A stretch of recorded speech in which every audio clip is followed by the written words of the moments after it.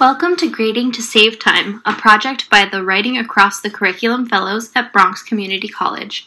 We know that all faculty members would like to grade their students' writing more effectively and efficiently, so in this short video, we will provide you with suggestions on how to do that.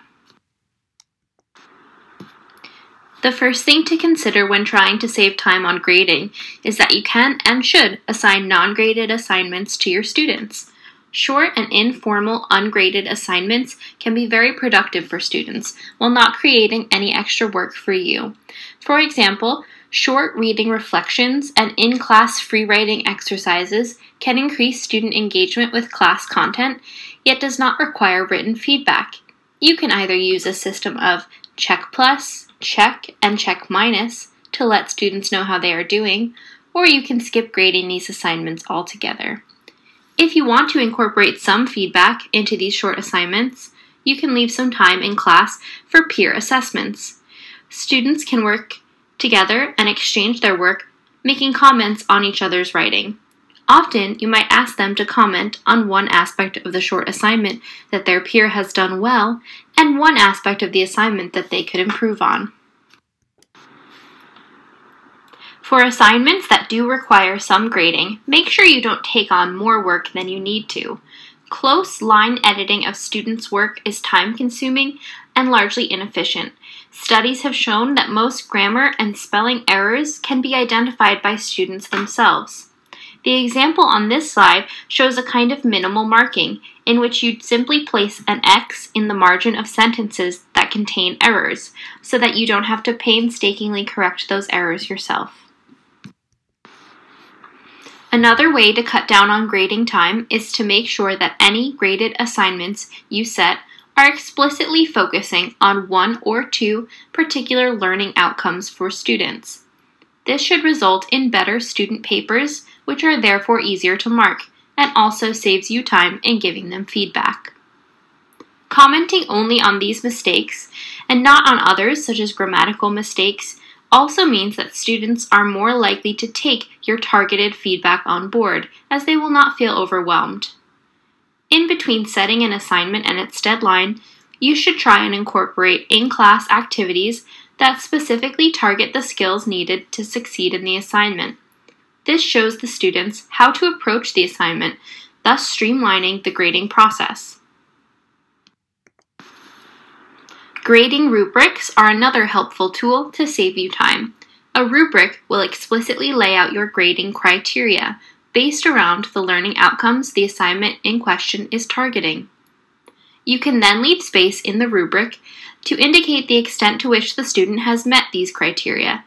The example on this slide involves a very simple scale involving checks and crosses. You might also want to include a list of common errors and their fixes at the bottom of the rubric, so you can check or star the ones students need to work on, instead of writing the same comments out again and again. Professors at BCC can get a copy of a departmental rubric from the assessment coordinator. We know that this year most instructors are teaching online. This can make it more challenging to keep track of student work and provide effective and timely feedback we are going to briefly walk you through three common online platforms that might help you with grading. You may already be familiar with the Track Changes function in Microsoft Word. This can be a useful tool to give feedback on longer written assignments. Just turn on Track Changes under the Review menu in the Microsoft Word platform. It will track any edits you make to spelling or grammar, and it allows you to leave longer comments on student work. Track changed Word files can be saved and uploaded to Blackboard to share this feedback.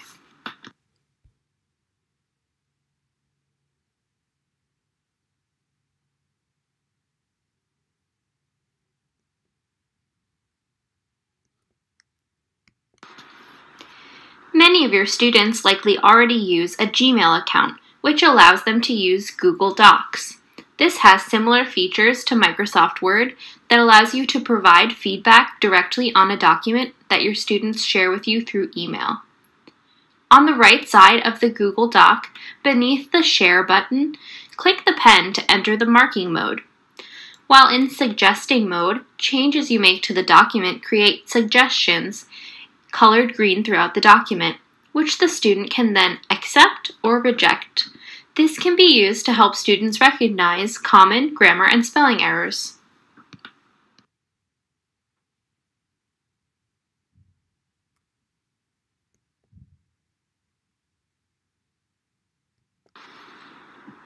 You can also use suggesting mode to leave more substantive feedback. Highlight a section of text, click the comment box next to the share button, and write your comment. Like with the suggesting feature, students can accept the comment after they have addressed the issue in their next draft.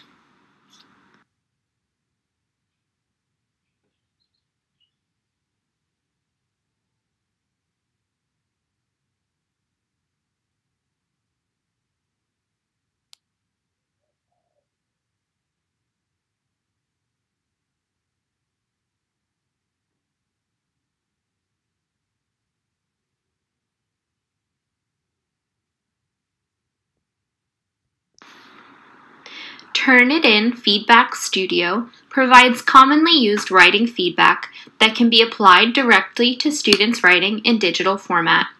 In this example, we can highlight student phrasing and mark it as vague, which creates suggestions for the student to be more specific and direct in their writing.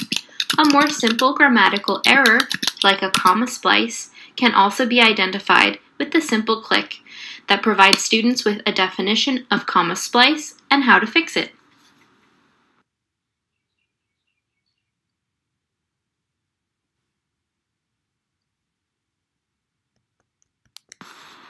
We hope these suggestions are helpful for you in addressing more efficient and effective grading of student writing.